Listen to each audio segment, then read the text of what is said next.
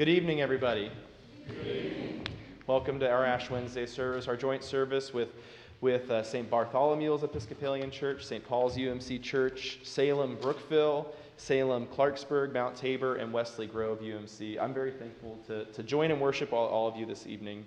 Uh, I'm Pastor Will. I'm the, I'm the, pastor here at St. Paul. And so I just want to get a, a, little bit of house cleaning out of the way first. If you need to use the restroom, we have them. They are about as far away from this room as you can get. So you would have to go out the back door, down two flights of steps, and then at the end of the hallway in the basement of the education wing, there's two restrooms. So if you need to use them, please do. Just want to make sure you all know where they're at because it can be a, maze at some point.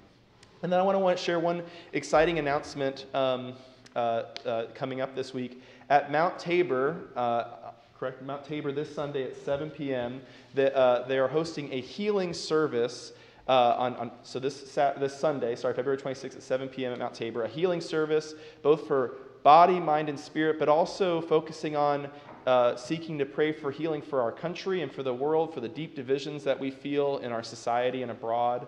Uh, and so I invite you to join them for that. You, you, you may have received an announcement uh, uh, uh, with, with, your bulletin. I invite you to, to join that if that's something that, that speaks to your spirit during this season. Um, and so let's take a moment and center ourselves on why we're here this evening to begin our Lenten journey, to center ourselves on Christ, to remember our mortality and also the grace that God reaches out to us with in our mortality. So, would you take a moment just to take a deep breath in? and a deep breath out. One more deep breath in and a deep breath out. If you would join me in our gathering words that are in your bulletin. The grace of the Lord Jesus Christ be with you. And also with you. Bless the Lord who forgives all our sins. God's mercy endures forever. Amen.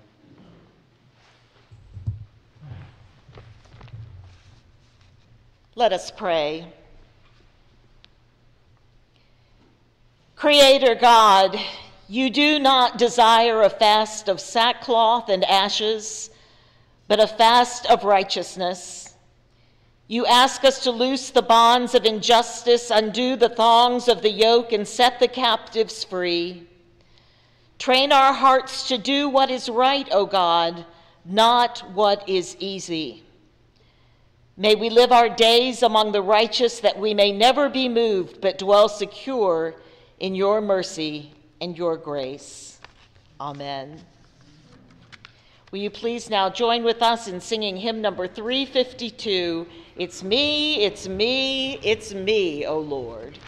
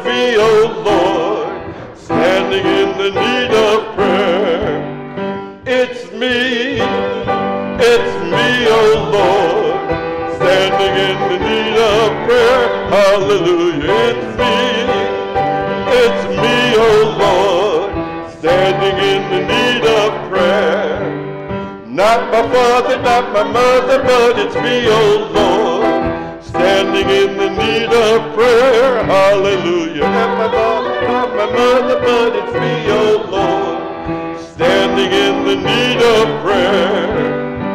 It's me, it's me, oh Lord, standing in the need of prayer. It's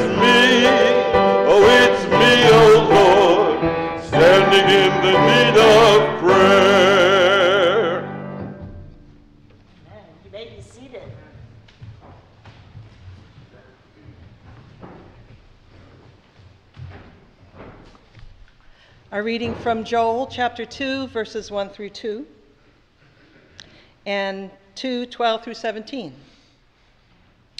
Blow the trumpet in Zion, sound the alarm on my holy mountain. Let all the inhabitants of the land tremble, for the day of the Lord is coming, it's near. A day of darkness and gloom, a day of clouds and thick darkness. Like blackness spread upon the mountains, a great and powerful army comes. Their like has never been from of old, nor will again be after them in ages to come. Yet, even now, says the Lord, return to me with all your heart, with fasting, with weeping, and with mourning. Rend your hearts and not your clothing. Return to the Lord your God, for he is gracious and merciful slow to anger, and abounding in steadfast love, and relents from punishing. Who knows whether he will not turn and relent and leave a blessing behind him, a grain offering and a drink offering for the Lord your God? Blow the trumpet in Zion, sanctify a fast, call a solemn assembly, gather the people, sanctify the congregation, assemble the aged, gather the children even infants at the breast. Let the bridegroom leave his room and the bride her canopy. Between the vestibule and the altar, let the priests, the ministers of the Lord, weep. Let them say, Spare your people, O Lord, and do not make your heritage a mockery, a byword among the nations. Why should it be said among the peoples, Where is their God? And a reading from Paul's letter to the Corinthians, the Second Corinthians, chapter 5, 20, verses uh, 6, 10. We are therefore Christ's ambassadors, as though God were making his appeal through us. We implore you on Christ's behalf, be reconciled to God.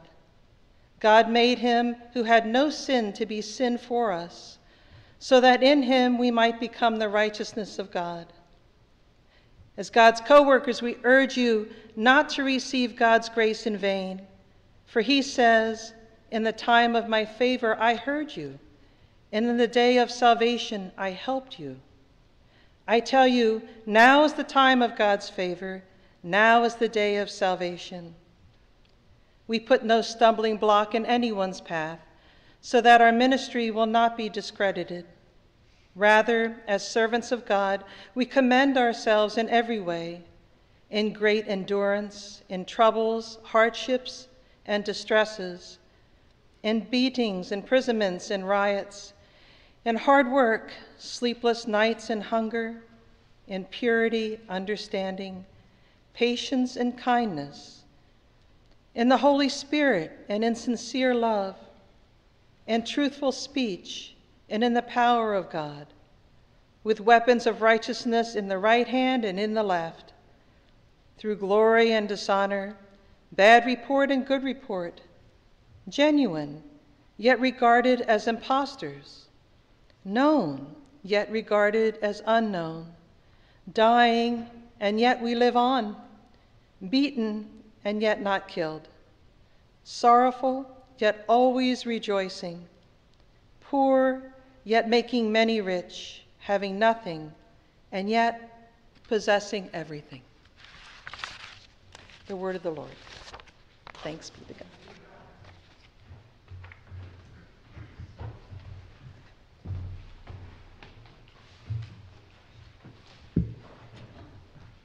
Our next hymn is number 382, Have Thine Own Way, Lord.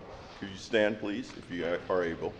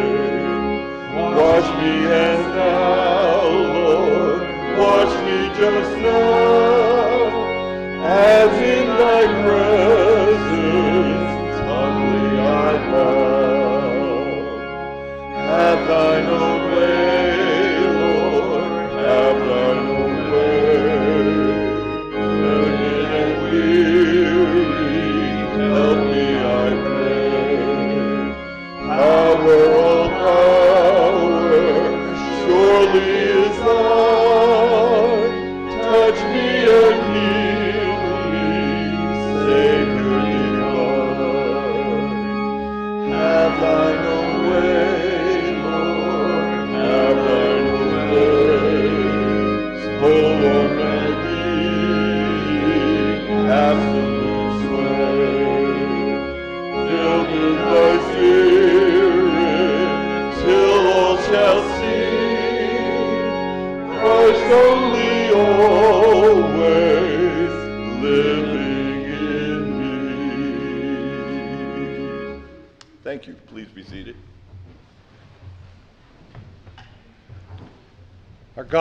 lesson this evening comes from the Gospel of Matthew, chapter 6, verses 1 through 6 and 16 through 21. Chapter 6, verse 1 Beware of practicing your piety before others in order to be seen by them, for then you have no reward from your Father in heaven. So, whenever you give alms, do not sound a trumpet before you, as the hypocrites do in the synagogues and in the streets, so that they may be praised by others. That truly I tell you, you they have received their reward.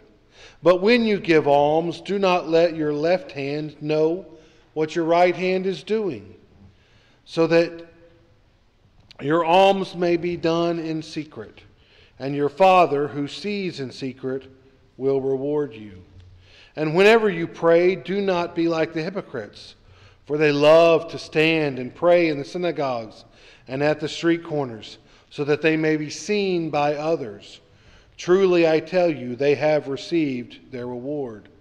But whenever you pray, go into your room and shut the door, and pray to your Father who is in secret.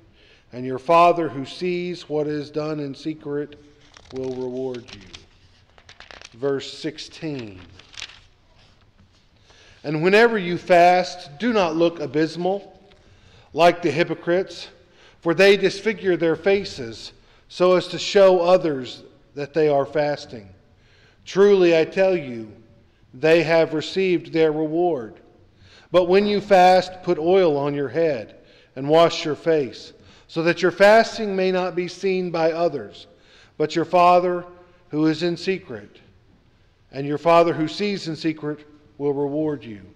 Do not, do not store up for yourselves treasures on earth, where moth and rust consume, and where thieves break in and steal, but store up for yourselves treasures in heaven, where neither moth nor rust consumes, nor where thieves do not break in and steal. For where your treasure is, there your heart will be also.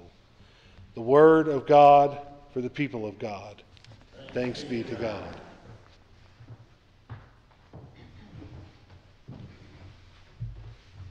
Good evening. Will you pray with me?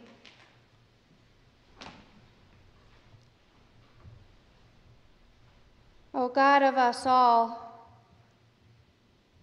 we ask that as you have been present with us this evening, you would fill us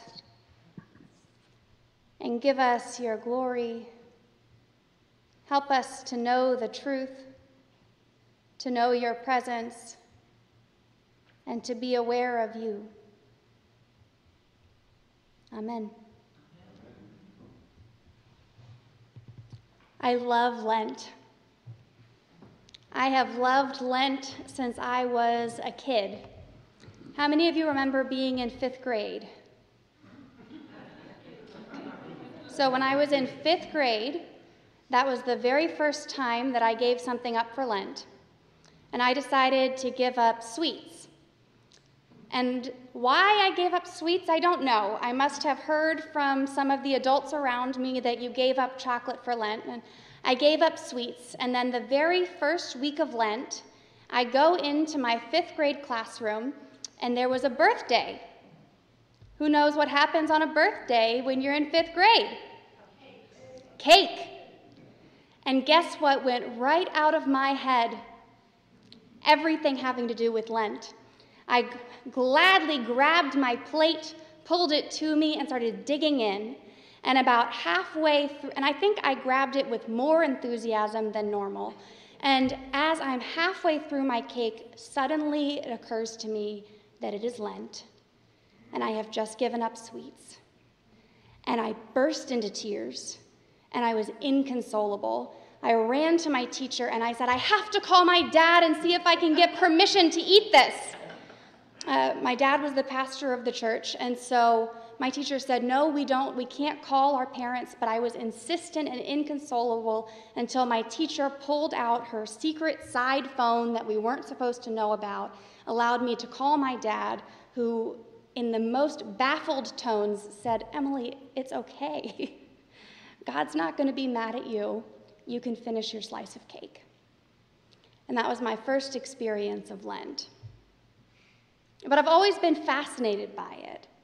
What is this 40 day period of contemplation, denial, holiness? If I engage in it, will its holiness rub off on me and make me somehow shiny? Do the su- suggested scriptural disciplines make sense?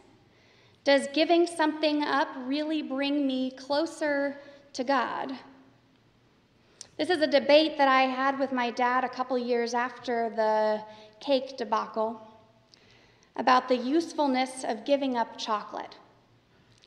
I said, This is useless. This does nothing to bring me closer to God. The only thing it's going to do is make me miserable. Why on earth is everyone running around giving up chocolate for Lent? My sacrifice wouldn't be doing anything productive. Now, looking back with the language that I have now, I might say it didn't do anything to bring God's kingdom to earth, so why bother?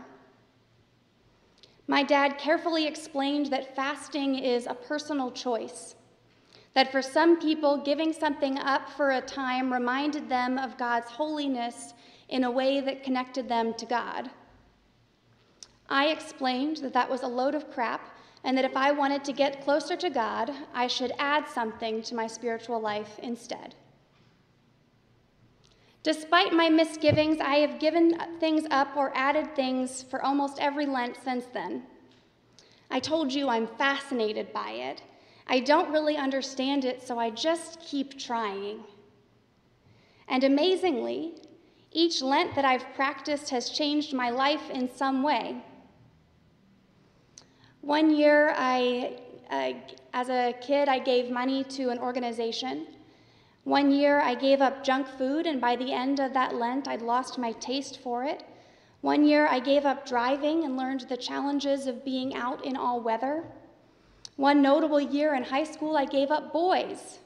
I can't tell you how my life choices improved for the rest of that month. Fasting seems to be one of the most common things that people do for Lent. Giving up chocolate, alcohol, smoking. Today is the day to post our Lenten disciplines on Facebook like a springtime resolution. It's time to seek accountability and community through our thoughtful sharing. Or is it simply time to seek attention? Ooh, Pastor, why would you say that to me? What a yucky thing for me to say. I don't know why you share your Lenten disciplines with your community. I don't know if it really does help you stay accountable, if it helps give you witness to your faith, if it gives you a chance to publicly choose God. And yet, we have Matthew 6 still ringing in this room. Don't practice your religion in front of people to draw their attention. Don't draw their attention. Lent can be a really holy time, a time for prayer, fasting, giving, but it can also be a time of performance. You don't have to raise your hand if you've ever felt that, but in your heart, you can raise your hand if you've ever felt that. It can be a time when we put out our piety on display for the sake of others. Perhaps it's ostensibly with the goal of teaching them, but surely, surely, a small part of you, a small part of me, likes the reward. You know, the reverence, the awe. The year I gave up driving was very impressive. And you better believe that I told anyone who would listen. I was impressed with my own cleverness. Yes, I was hopeful for the way that God would move in my life. I told you I've been so curious about this. I've wanted to grow deeper, but I think I also wanted to impress people with my sacrifice. And that's not what we're called to do. Lent is not a time to perform, it's a time to be formed. Look at Matthew 6. Here we have a warning against public spiritual disciplines. Don't pray out loud like the hypocrites, they have received their reward. You see, there is a reward. Don't give publicly. In fact, do it so secretly that your left and right hands can't account for each other. And when you pray, do it in secret so that your Father who sees in secret will reward you. You know what this says to me? If you choose to share your spiritual disciplines with the world, go ahead. You will likely receive your reward from the world. But if you want to be transformed, if you want to know God, let God be the only one you tell. Yeah, okay, Pastor. I'll keep it to myself. So what?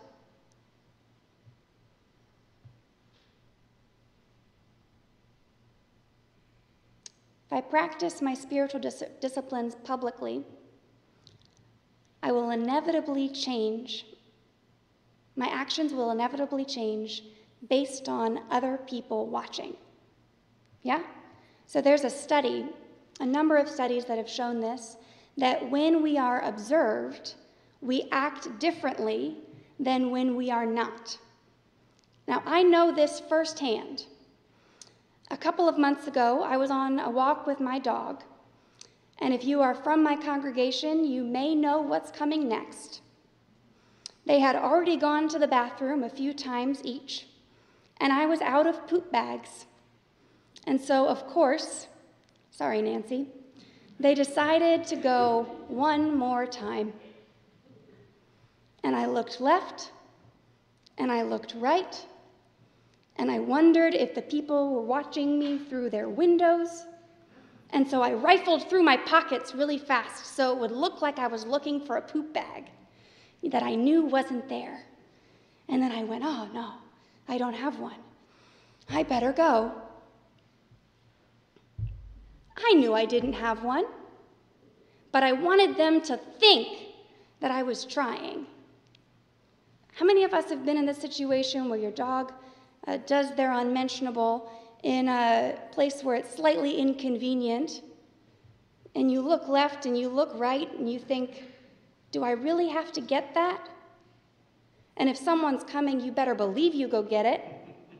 And if nobody's coming, maybe you don't. We change our actions based on whether or not someone is watching. Now, I don't think my husband does. I think that he is who he is, whether or not someone's watching, but I am not as pure as he is.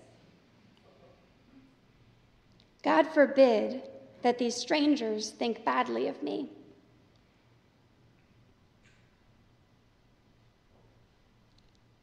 So it may mean that when you share your Lenten discipline with somebody, that will cause you to act differently. It may cause you to do more of your Lenten discipline. It may cause you to do less, but it will cause you to do it differently. And here's the problem with that that's not you. That's not you. That's the you that you are cultivating for them. That's not you. That's not the you that God created and called. That's not the you that God formed out of the earth and put breath into and said, You are my beloved child. That is somebody that is performing for the world. And I don't want that for you. I don't want you to perform for God. Because what a loss that would be. That would be a loss for you, that would be a loss for the world, and that would be a loss for God. Because when people know, we act differently. God wants to see the you that you are without your mask, the you who you are when you're alone, the you who you are, no posturing, no fancy words or cultural rewards, just you. You showing up because you love God. I finally figured out why people fast. I might have a different reason next year, but for this year, it's to show yourself that you can survive any discomfort except for the one that comes from being without God. I can live without chocolate, TV, my favorite books, makeup, alcohol, even my car. But I can't live without God. So if you choose to practice Lent this year, if you choose to get ashes on your forehead at the end of the evening, the ashes to symbolize our finitude, and maybe this year, keep it between you and God. When you get home, wash your face. Don't post it on Facebook, but just let it be holy and private and a gift of love. Don't let it be a performance. Just let it be you. Thanks be to God. Amen.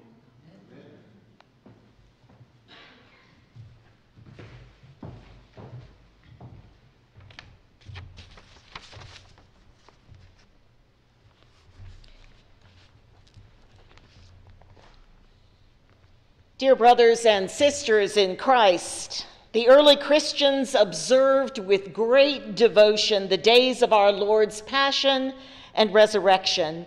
And it became the custom of the church that before the Easter celebration, there would be a 40 day season of spiritual preparation. During this season, converts to the faith were prepared for holy baptism. It was also a time when persons who had committed serious sins and had separated themselves from the community of faith were reconciled by penitence and forgiveness and restored to participation in the life of the church. In this way, the whole congregation was reminded of the mercy and forgiveness proclaimed in the gospel of Jesus Christ and the need we all have to renew our faith.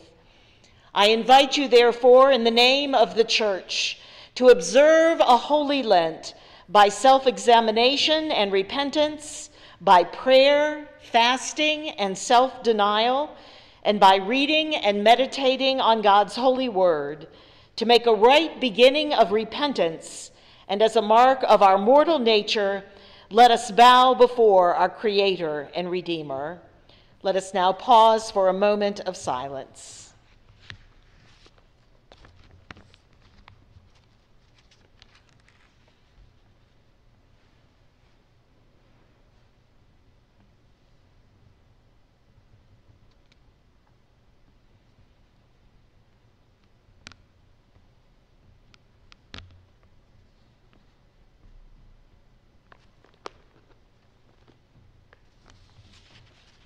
Amen.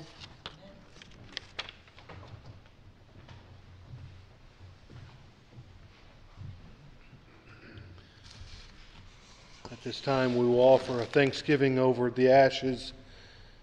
Almighty God, you have created us out of the dust of the earth. We ask, O God, that you would grant that these ashes may be to us a sign of our mortality and penitence, so that we may remember that only by your gracious gift are we given everlasting life. Through Jesus Christ our Savior, we pray together. Amen. At this time, I'll invite our clergy pastor friends. We'll have two in the back, two in the front, and as you come, we will impose, the ashes for us all.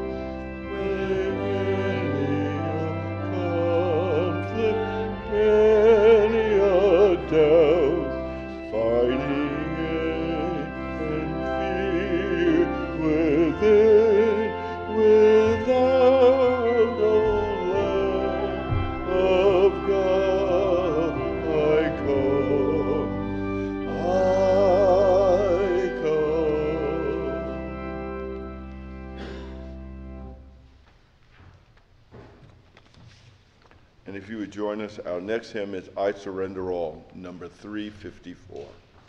And we'll sing verses 2, 3, and 4.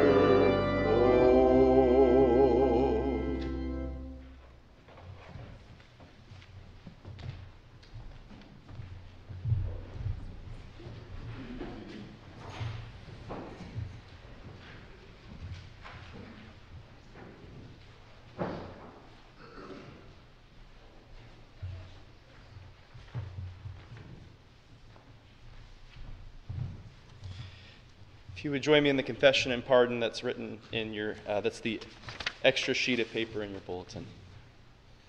We'll read the bold parts together. Cast me not away from your presence, and take not your Holy Spirit from me.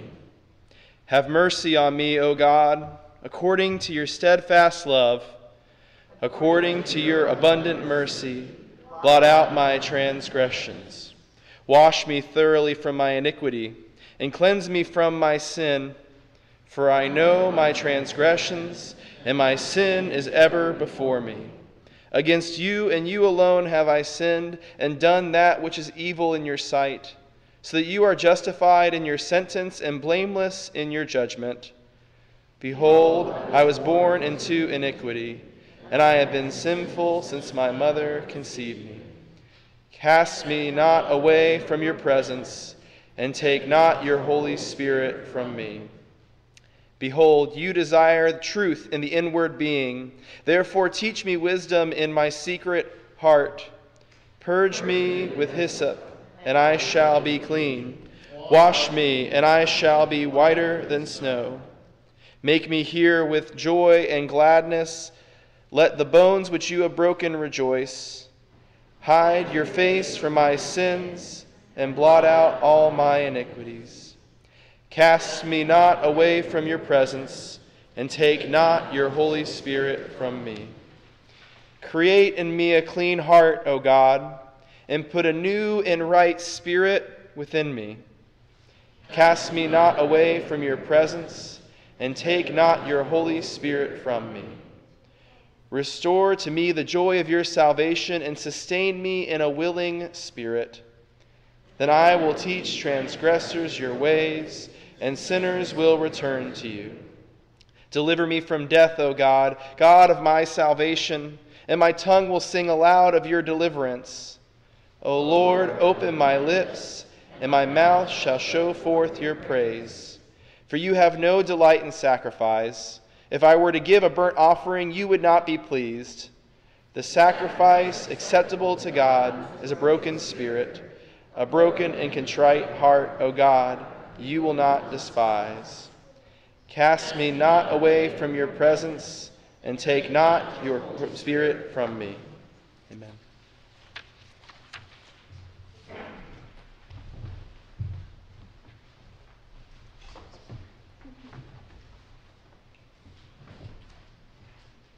The peace of the Lord be always with you.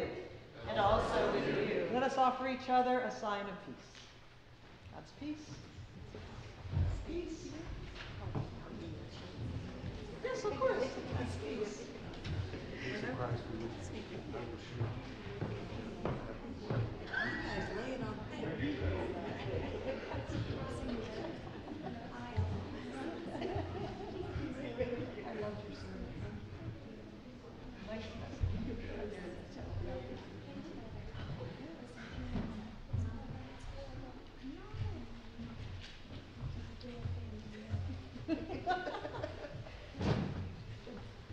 Yeah, as he is wont to do.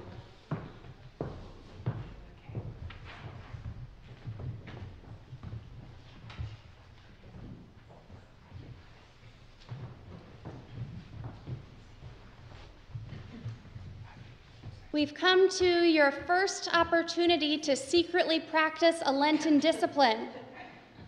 It's time for our tithes and our offerings. This evening, our offering is going towards Damascus Help. Um, those of you who are used to Olney Help, it, this is the equivalent, but in Damascus, um, we have heard that their shelves are empty, um, so we'd like to help fill them. Um, I don't know, I don't, none of you would do this, but I'm putting my money in the plate. We're not doing that because we're practicing our Lenten discipline, right? So that's my encouragement to you. But seriously, this is, um, this is a chance to do something good for the world. Um, one of my favorite things about doing services with everybody is it truly benefits our community. Um, and we get to lift up uh, what it means to be a Christian and be the hands and feet of God in our communities. So uh, thank you for being part of this service and giving back to our local community.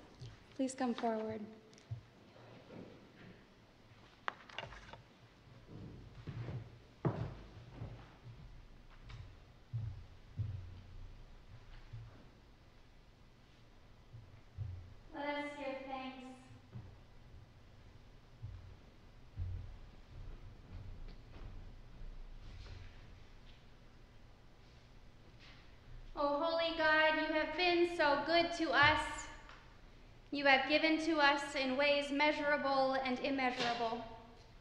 And we ask that as we start to give back, that you would encourage us and lead us, and that our work would be multiplied as you multiply the loaves and fishes, that a small drop in the bucket would become a wave, that the help that we provide for Damascus help this evening would be the beginning of an ocean for them, a way to impact all of Damascus and Olney and bring hunger to its end.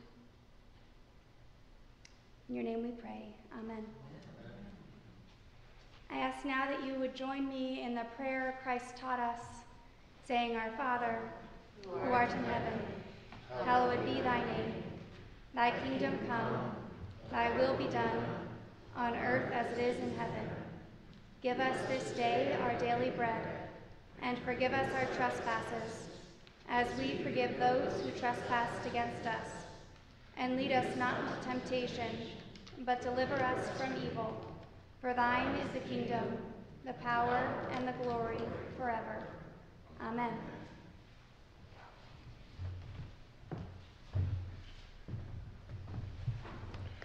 Our last hymn is number 402, Lord, I Want to Be a Christian.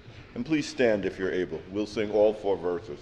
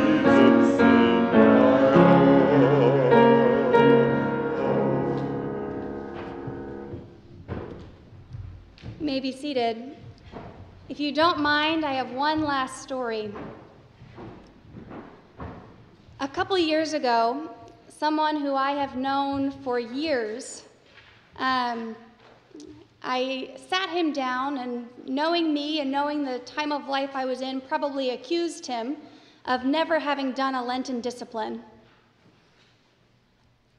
And then he told me that he has fasted uh, on Fridays of Lent every year for the past 20 years.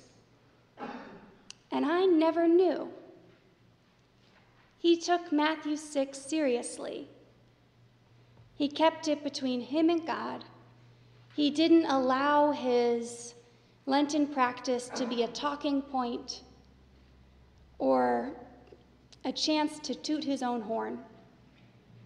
And at first I was annoyed because I was trying to accuse him of something and I was wrong. Um, and that's always annoying. But then I was grateful that he had not made a spectacle of his practice and given me that example. And then I was further grateful that when I asked him about Lenten disciplines, he told me about it. So I think there's a line, right? In general, it's good to keep it to yourself. But if someone is genuinely seeking and asking and wondering, then share it with them with your whole heart that it could be a chance to teach, a chance to illumine God's heart, a chance to make a difference in someone's life, not a spectacle. Because at the end of the day, God wants you, not your performance, not your mask, you. So it's time to begin Lent. We encourage you all to go out in silence. And I encourage you, your pastors may have different advice, but I encourage you to wash your face, to wear your cross on your heart, and to remember that this is holy, set apart time. So go forth in the name of the Father, and of the Son, and of the Holy Spirit. Amen and amen.